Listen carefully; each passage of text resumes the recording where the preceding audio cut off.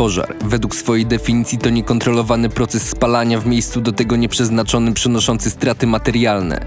Najczęstsze przyczyny pożarów to m.in. nieostrożność przy posługiwaniu się otwartym ogniem oraz substancjami łatwopalnymi, wady urządzeń grzewczych czy instalacji elektrycznych oraz ich nieprawidłowa eksploatacja.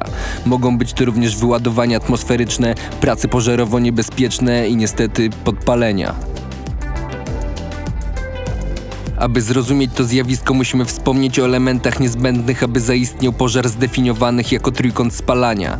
Materiał palny, który może ulec spaleniu, utleniacz, w tym przypadku tlen oraz energia cieplna potrzebna do zainicjowania reakcji spalania. W Polsce stosuje się klasyfikację pożarów ze względu na rodzaj materiału palnego. Wyróżniamy pięć podstawowych grup pożarów. A. Ciała stałe, B. Ciecze, C. Gazy, D. Metale, F. Tłuszcze spożywcze.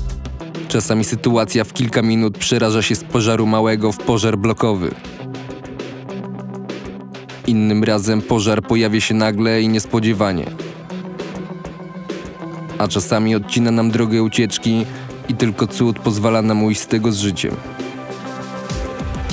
Postępowanie podczas pożaru można podzielić na trzy etapy. Pierwszy zabezpieczenie miejsca zdarzenia. Zadbaj o zdrowie swoje, jak i osób postronnych. Ewakuuj osoby zagrożone pożarem, powiadom innych użytkowników obiektu lub terenu. Drugi zawiadomienie odpowiednich służb. Im szybciej poinformujemy Straż Pożarną, tym pożar będzie miał mniej czasu na swobodny rozwój. W trakcie rozmowy z dyspozytorem podaj swoje dane, miejsce zdarzenia i określ jego charakter. Trzeci przerwanie procesu spalania. Jeśli jesteś pewny, że próba gaszenia nie stwarza większego zagrożenia oraz zostałeś przeszkolony w jaki sposób należy podjąć tę próbę, przystąp do gaszenia. Zachowaj bezpieczną odległość oraz wszelkie możliwe środki ostrożności. Postępuj zgodnie z instrukcją zamieszczoną na etykietach urządzeń gaśniczych.